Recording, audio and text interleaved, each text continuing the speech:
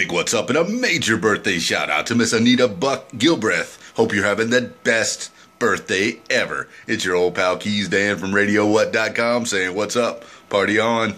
I'm out of here.